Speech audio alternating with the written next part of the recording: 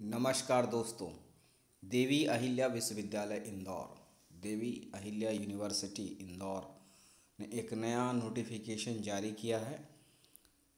इसमें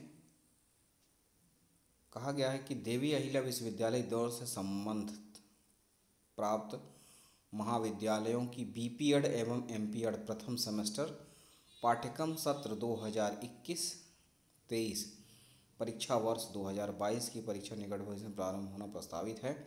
बीपीएड एवं एमपीएड प्रथम सेमेस्टर के नियमित एटीकेटी भूतपूर्व परीक्षार्थियों द्वारा परीक्षा आवेदन पत्र ऑनलाइन ऑनलाइन भरे जाना है। और परीक्षार्थियों के परीक्षा आवेदन पत्र महाविद्यालयों में प्रस्तुत करने एवं विश्वविद्यालय में आवेदन प्रस्तुत करने की तिथियाँ निम्नानुसार हैं। इसमें जितने भी स्टूडेंट हैं बीपीएड और एमपीएड के फ़र्स्ट सेमेस्टर के, सभी कॉलेज जो एफिलिएटेड हैं, देवी अहल्या विश्वविद्यालय इंदौर से डीएवीवी इंदौर से, उन सभी के लिए है। तो आप फॉर्म भर सकते हैं।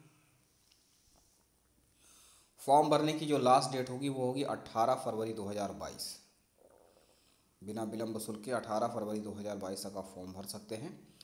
इसके बाद सौ रुपये लेट फ़ीस के साथ आप 22 फरवरी 2022 तक फॉर्म जमा कर सकते हैं और सात सौ पचास रुपये विशेष विलम्ब शुल्क और विशेष अनुमति से कुलपति महोदय की आप फॉर्म भर सकते हैं 25 फरवरी 2022 तक। और एक हज़ार रुपये के साथ भी है, परीक्षा प्रारंभ होने से पाँच दिन पूर्व तक कुलपति महोदय की विशेष अनुमति से। तो आप कोशिश करें कि समय रहते ही फॉर्म भरें। तो डेट आपको क्लियर हो गई अठारह फरवरी 2022 इसमें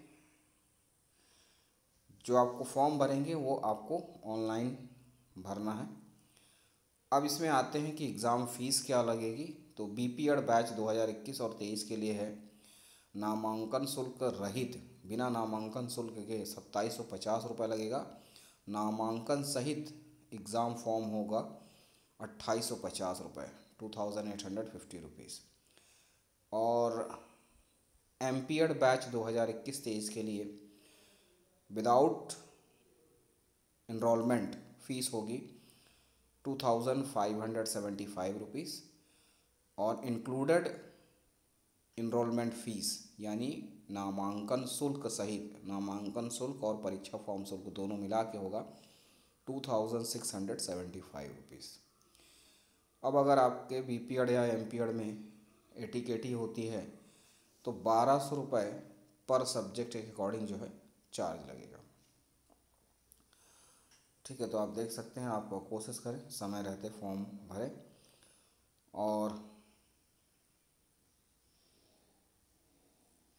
इसमें फॉर्म भरने के बाद जितने भी आपके पुराने मार्कशीट हैं और उनकी फ़ोटो कॉपी जो है आप लगाएँ, जो आपने फॉर्म भरा है, और हार्ड कॉपी जो है आपको आपके कॉलेज में सबमिट करनी होगी।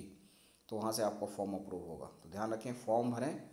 फॉर्म भरने के बाद आप प्रिंट आउट लें और बाकी डॉक्यूमेंट लगा के हार्ड कॉपी जो है आपके कॉलेज में आप सबमिट करें तो आपका फॉर्म जो है अप्रूव हो पाएगा।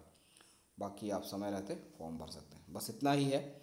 मिलते हैं अगले वीडियो में। तब तक के लिए नमस्कार। धन्यवाद।